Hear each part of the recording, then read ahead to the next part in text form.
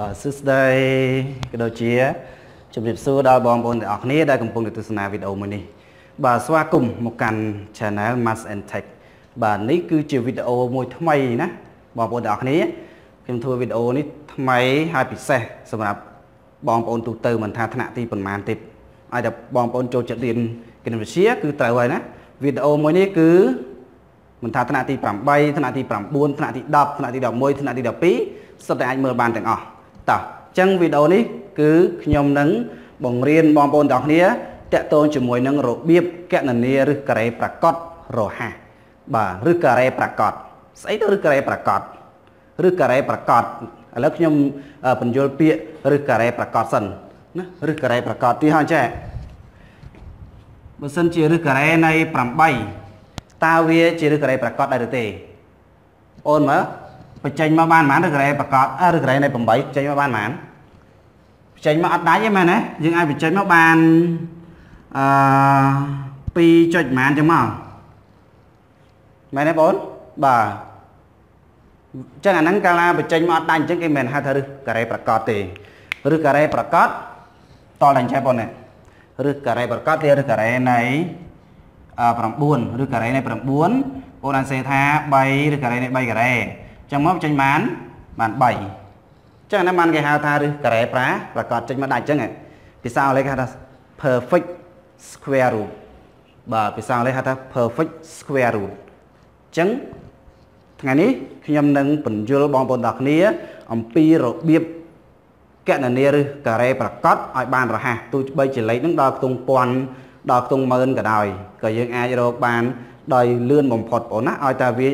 ជាឬការ៉េប្រកប វាចេញមកដាច់ដាច់ណាចេញពីរ៉ាឌីកាល់ចេញពីឬការ៉េមកដាច់ដាច់គឺយើងអាចរកបានយ៉ាងលឿនបំផុតបងណាតោះសូមមើលទាំងអស់គ្នាបាទជាដំបូងបងអូនទាំងអស់គ្នាត្រូវមើលអានេះនេះបងប្អូនអរគ្នាទៅចាំអានេះសិនជាដំបូងណាទៅចាំថា1លើកជាការ៉េស្មើប៉ុន្មានស្មើ1 2លើកជាការ៉េស្មើ4 3លើកជាការ៉េស្មើ9 4លើកជាការ៉េស្មើ16 5លើកជាការ៉េស្មើ25 6លើកជាការ៉េស្មើ36 7លើកជាការ៉េស្មើ49 8លើកជាការ៉េស្មើ64 9លើកជាការ៉េស្មើ81ជាដំបូងបងប្អូនត្រូវចាំអាហ្នឹងសិនចាំអាហ្នឹងឲ្យបងប្អូនត្រូវមើលតួចុងក្រោយនេះដែលខ្ញុំសរសេរពណ៌ខ្មៅនេះមើលតួចុងចុងក្រោយមើលតួចុងក្រោយមើលតួចុងក្រោយណាបាទមើលតួចុងក្រោយហេតុអីបានជាខ្ញុំសរសេរពណ៌ខ្មៅហើយឲ្យមើលតួចុងក្រោយតិចទៀតបងប្អូននឹងយល់ហើយណាអញ្ចឹងយើង មើលលំហាត់ចូលកណនីឬការ៉េនៃ289មើលនេះមួយសិននេះឬការ៉េនៃ289អញ្ចឹងមុនដំបូងបាទឥឡូវខ្ញុំសេនេះណាឬការ៉េនៃ289មុនដំបូងមើលពីខ្ទង់ចុងក្រោយនេះ89មែនទេពីខ្ទង់ចុងក្រោយគឺ89ប៉ុន្តែលេខចុងក្រោយលេខចុងក្រោយលេខប៉ុន្មានលេខចុងក្រោយលេខ9មែនទេ លេខ9លេខចុងក្រោយគឺលេខ9ឆ្លើយយើងមើលនេះវិញលេខចុងក្រោយលេខ9គឺ3លើកជាការ៉េហើយនឹងប៉ុន្មានលើកជាការ៉េ7លើកជាការ៉េមែនទេនេះ3លើកជាការ៉េហើយនឹង7លើកជាការ៉េ2ហ្នឹងមិនដឹងថាមួយណាទេអញ្ចឹងបាទអញ្ចឹងនេះអាហ្នឹងអាចអាច3ឬក៏7យកតន់ដឹងឯងតន់ទេបងទុកនឹងសិនអាច3 7 ដឹងថាលេខខ្ទង់ចុងក្រោយបាទដឹងអាលេខខ្ទង់ចុងក្រោយអាច3ឬក៏7អត់តន់ដឹងថាគួរយក3ឬក៏យក7ទេព្រោះអី3លើកជាការ៉េចុងក្រោយមានលេខ9 7លើកជាការ៉េលេខចុងក្រោយមានលេខ9ដែរប៉ុន្តែយើងមើលបន្តទៀតនេះ2នេះមើលមើលលេខ2នេះបងនេះមើលលេខ2 2នេះប្រហែលលើកជាការ៉េកុំឲ្យធំជាង2ហ្នឹង មើលមើល1លើកជាការ៉េ1 2លើកជាការ៉េ4បើសិនជាយក2 2លើកជាការ៉េ4លើហើយលើនេះតែ2អញ្ចឹងយើងយក1បងណាយក1នេះយក1អញ្ចឹងខ្ទង់ទី1គឺលេខ1ណាអញ្ចឹងនៅខ្ទង់ទី1ដឹងលេខ1ហើយបាទខ្ទង់ទី1ដឹងលេខ1ហើយណាមិនដឹងថា10ប្រមាណទេតោះឥឡូវយើងនៅខ្ទង់ទី1លេខ1នេះខ្ទង់ទី1ខ្ទង់ទី1លេខ1ណាឥឡូវយើងគូគូនេះវែងតិច គូនេះវែងមកក្រោមខ្ទង់ទី1ដល់លេខ1យើងយកលេខ1នឹងគុណនឹងលេខបន្ទាប់ពី1គឺប៉ុន្មានគឺ2ណាយកគុណលេខបន្ទាប់របស់វា1គុណ2ស្មើនឹង2បាទ1គុណនឹង2គឺស្មើនឹងស្មើនឹង2សួរថា2នេះហើយនឹង2នេះស្មើគ្នាមែនទេកាលាស្មើគ្នាតោះណា កាលាស្មើគ្នាគឺយើងយកលេខដែលធំជាងតោះណាបើសិនជាតូចជាងអាហ្នឹងបានយើងយកលេខដែលតូចជាងព្រោះ3ហើយនឹង7នេះ7ធំជាងមែនទេយើងយក5 7កាលាស្មើគ្នាឬក៏ធំជាងពេលយើងយក1គុណ2វាស្មើ2 2ហ្នឹងយើងមើលនេះមើលនេះវាស្មើមែនទេស្មើគ្នាមែនទេបាទបើ2នេះស្មើនឹងអា2នេះយើងយក លេខដែលធំជាងនេះតោះណាបើ2នេះតូចជាងអានេះឧទាហរណ៍នេះគុណស្មើខុសពី2គឺមក3 4អញ្ចឹងណាអញ្ចឹងអានេះគឺយើងយកអានេះតូចជាងចឹងយកលេខតូចប៉ុន្តែនេះដោយសារស្មើគ្នាឲ្យតែស្មើគ្នាឬធំជាងយកលេខធំប៉ុណ្ណាអញ្ចឹងចម្លើយគឺចម្លើយគឺ17ណាអញ្ចឹងចម្លើយគឺយើងយកស្មើនឹង17ណាចម្លើយគឺស្មើ15 7 ឥឡូវបងសាបទៀងតទៅ17គុណនឹង17មកតើស្មើ289អត់7 7ដល់49 49ត្រា4 7ម្ដង7 6 4 10 11 6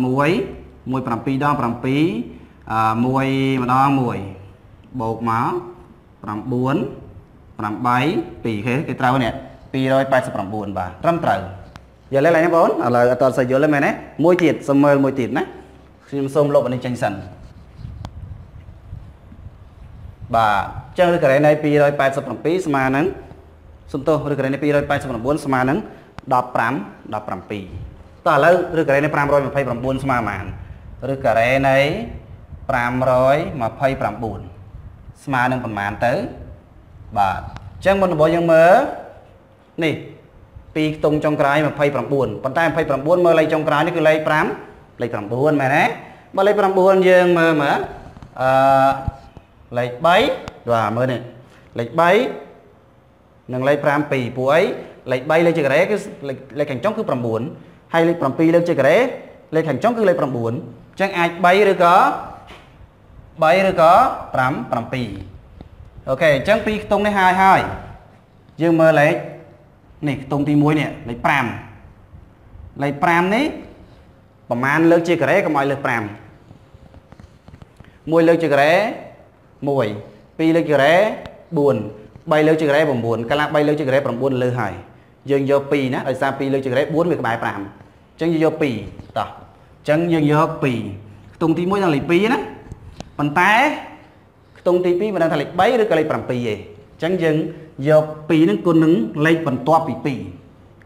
2 2គុណនឹង3ស្មើនឹង6ឥឡូវយើងមើល5ទៅជាង6មែនទេនេះ5នេះ 5នេះទៅជាង6កាល5នេះទៅជាង6លេខអានៅក្នុងរឹសការ៉េនេះទៅជាងអ្វីដែលយើងគុណនេះកាលទៅជាង គឺយើងយកលេខ3ឯងបងប្អូនតោះនេះឡើយហ្នឹងកាលណាលេខក្នុងរឹសការ៉េអាខ្ទង់ទី1ទៅជាងអ្វីដែលយើងគុណនេះគឺយើងយកនេះតូចដែរណាអញ្ចឹងយកលេខលេខ3អញ្ចឹងចម្លើយគឺស្មើនឹង20 23បងប្អូនណាអញ្ចឹងរឹសការ៉េនៃ529គឺស្មើនឹង23 ឥឡូវលោកគ្រូផ្ទៀងផ្ទាត់ឲ្យមើលទៀត23គុណនឹង23តើស្មើនឹង529ដែរទេតើ3បិដង9 3បិដង6 2បិដង6 4 9 12ត្រា1 5ត្រូវហើយបងអូន529ត្រូវហើយបាទត្រឹមត្រូវទេវិធីហ្នឹងលឿនមែនទេនៅពេលដែលបងអូនធ្វើឲ្យបានច្រើនទៅស្ទាត់គណគិតក្នុងគូក្បាលបើចាំស្រីគឺឃើញឯងណា តោះឥឡូវមួយទៀតបាទអញ្ចឹងនេះគឺជារបៀបកណនីឬការ៉េប្រកាសដោយរហ័សបងណាឲ្យបានលឿនអញ្ចឹងឬការ៉េនៃ484 400 84តើស្មើនឹងប្រមាណបាទតោះមើលពីខ្ទង់នេះពីខ្ទង់នេះលេខខ្ទង់ចុងក្រោយគឺលេខ4មែនទេលេខ4 លេខ4យើងមើលនេះប្រមាណខ្លះលើកជាការ៉េដែលមានលេខខាងចុងលេខ4 2លើកជាការ៉េមានលេខខាងចុងលេខ4អញ្ចឹង2 2 1ហើយមកមួយទៀតអាច2អាចនឹង8លើកជាការ៉េក៏លេខខាងចុងលេខ4ដែរមែនទេបាទអញ្ចឹងអាច2អាច8មិនដឹងថាលេខខាងចុងលេខ2ឬក៏លេខ8ទេបងណាអញ្ចឹងយើងមើលអញ្ចឹងពីខ្ទង់នេះហើយណាគិតហើយហើយអាចលេខ2លេខ8 តោះឥឡូវលេខ4នេះប្រមាណលើជាការ៉េដែលស្មើ4បាទដោយសារវានេះ2លើកទៅស្មើ4ហ្មងអញ្ចឹងយើងយក2នឹងតែម្ដងបងណាអញ្ចឹង2បាទ2លើកជាការ៉េ4អញ្ចឹងយើងយក2ណាខ្ទង់ទី1នឹងយក2ហើយណាអញ្ចឹងយក2គុណនឹង2 2គុណនឹង2ស្មើនឹងប៉ុន្មាន2គុណ2ស្មើ4មែនទេកាលាស្មើគ្នាកាលាស្មើគ្នាអញ្ចឹង គឺយើងយកលេខដែលធំជាងហើយបងប្អូនណាយកលេខដែលធំជាងហើយគឺយើងយកលេខ5 8អញ្ចឹងវាស្មើនឹង25 8បងប្អូនណាឥឡូវបងប្អូនគុណមើល28គុណ28 28គុណ8 8ដល់ស្មើ484អត់គុណមក64សេ4ត្រា6 8 2ដល់16 16បូក6 22សេ2ត្រាត្រា2អញ្ចឹងហ៎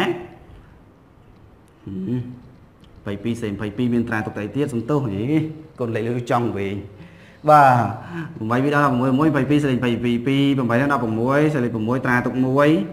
2ដល់4នឹង1បាទ2 2ដល់4 4នឹង1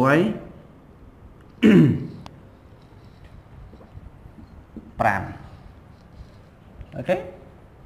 អូអានេះគុណ2វិញសំទោសហេមិនគុណ2គុណនឹងគុណនឹង3ហេអញ្ចឹងមិនឆ្ងល់មិនក៏ខុស សំទោសម្ដងទៀតកន្លែងហ្នឹងណាវាគុណនឹង3ទៅគុណនឹង2ដដែលវាមិនខុសមែនទេបាទអញ្ចឹងម្ដងទៀតណាកន្លែងហ្នឹងបាទលោកគ្រូសូមបញ្យល់ម្ដងទៀតអញ្ចឹងមិញយក2គុណ2វាមិនមែនយក2គុណនឹងលេខបន្ទាប់ពី2ណា2គុណនឹង3ស្មើនឹង6មែនទេស្មើនឹង6អញ្ចឹងយើងឃើញថា4នេះ4នេះតូចជាង4នេះវាតូចជាង6មែនទេ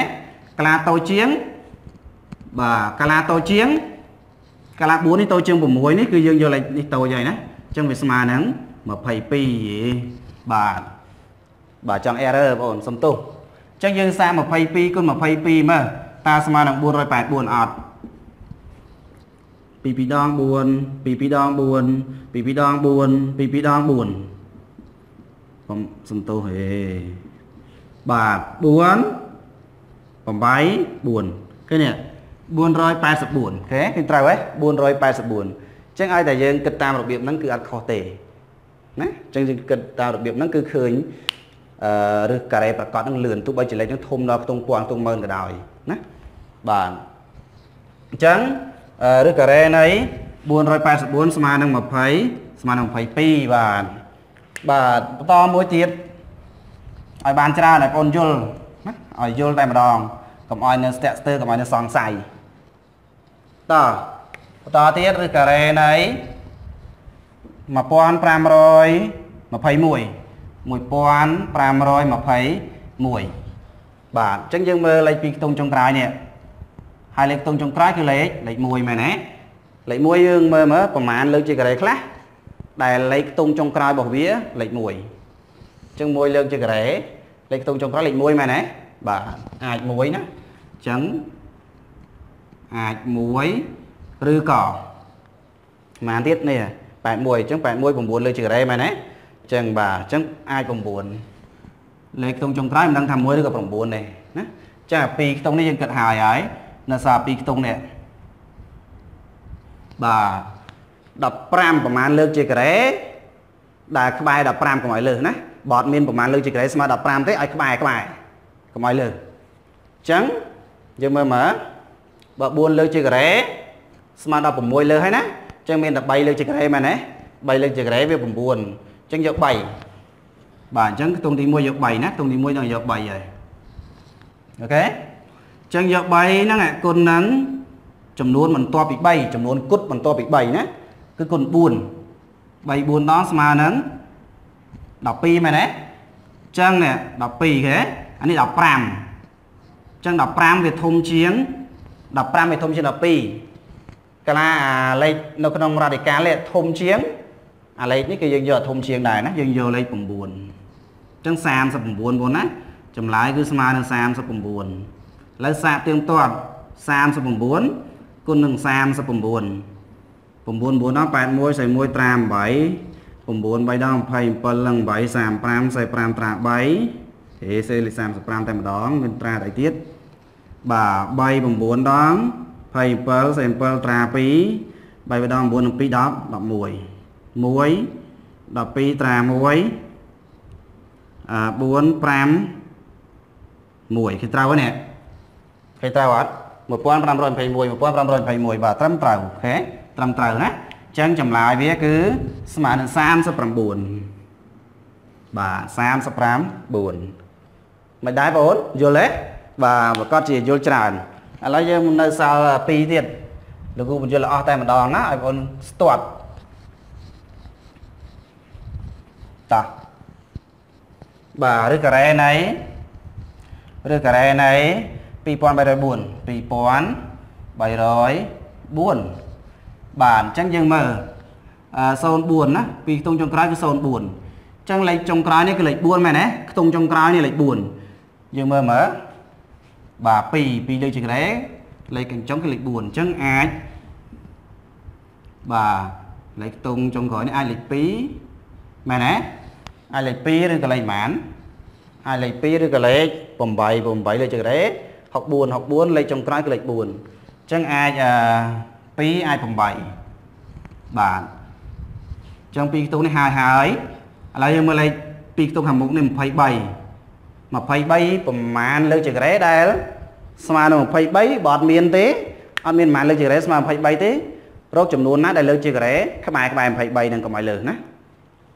បើ5ការ៉េវា25លើសហើយណាអញ្ចឹងមានតែ4ការ៉េមែនទេមានតែ4អញ្ចឹងខ្ទង់ទី1គឺលេខ4ណាខ្ទង់ទី1គឺលេខ4ណាអញ្ចឹង4គុណនឹងចំនួនគុតបន្ទាប់ពី4គឺ5មែនទេបាទ4គុណនឹង5ស្មើនឹង20អូខេយើងឃើញថា23នេះ 23វាធំជាង20អញ្ចឹងអានេះក៏យកលេខធំដែរណាអញ្ចឹងចម្លើយគឺ48បងណា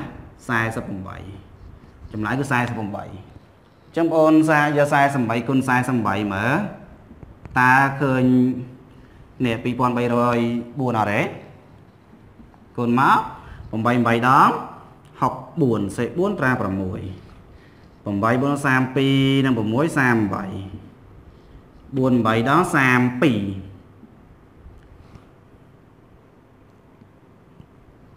បាទ4 8 32សេ2ត្រា3 4 4ដង16បូក3 19មែនទេ4 4ដង16 16បូក3 19បាទបូកមកឃើញប៉ុន្មាននេះ4 0ត្រា1អា10 3ត្រា1 2ឃើញត្រូវអត់នេះ 2304បាទត្រឹមត្រូវអញ្ចឹងចម្លើយគឺស្មើនឹង48នឹងបងណា48អូខេឡើយមួយចុងក្រោយណាមួយចុងក្រោយសាកគិតខ្លួនឯងតិចមកបងបាទសូមគិតខ្លួនឯងលោកគ្រូទុកពេលឲ្យគិតបន្តិចសាមើលឃើញប៉ុន្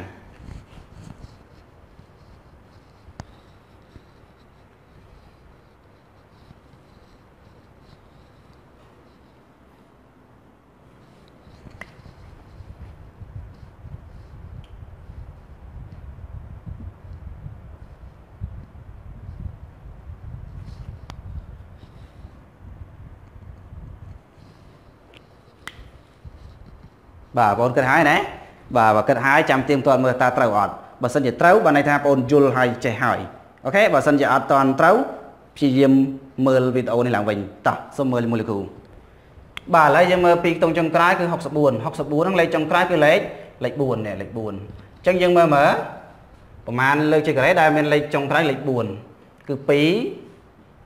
2ហើយនឹងប៉ុន្មាន2ហើយនឹង8ដដែលមែនទេ2ហើយនឹង8 គឺមានលេខតុងចុងក្រោយលេខ4បាទអញ្ចឹងពីរខ្ទង់នេះយើងគិតថាយើងឈប់ចោលកុំឲ្យច្រឡំនៅសល់ពីរខ្ទង់ខាងខាងដើម17ណា17ប្រហែលលើកជាការ៉េដែលស្មើ17ប៉ុន្តែបើអត់មានទេមែនទេអត់មានប្រហែលលើកជាការ៉េស្មើ17អញ្ចឹងប្រហែលលើកជាការ៉េដែលក្បែរក្បែរ17កុំឲ្យលើឡើយយើង5លើជាការ៉េ25លើហើយណាលើហើយអញ្ចឹងមានតែ4លើជាការ៉េណា4លើជាការ៉េ16អញ្ចឹងយើងយក4 4ណា4ហើយគឺយើងយក4គុណនឹង5មែនទេ4គុណនឹង5យក4គុណនឹងលេខបន្ទាប់ពី4ណាចំនួនគុណបន្ទាប់ពី4គឺ5អញ្ចឹងស្មើនឹង20អញ្ចឹងយើងឃើញថា17នេះវាតូចជាង20មែនទេ17តូចជាង20កាលណាតូចជាងយកអាតូចនេះយកតូចអញ្ចឹងវាទៅជា4ហើយ2គឺ42ណាចម្លើយគឺ42ឥឡូវយើងសាកទៀងទាត់ មួយទៀតណាតើត្រូវអត់42គុណនឹង42គុណមក2 2ដង4 2 4ដង8 4 2ដង5 3 4 4ដង15 1មែនទេបាទ4 16ត្រាទុកអឺ1 7 1ឃើញត្រូវទេ1764 1764ត្រឹមត្រូវអញ្ចឹងចម្លើយគឺ40 42ណាអញ្ចឹងគឺស្មើនឹង42ចុងក្រោយនេះគឺស្មើ42បាទអញ្ចឹងយើងឃើញថា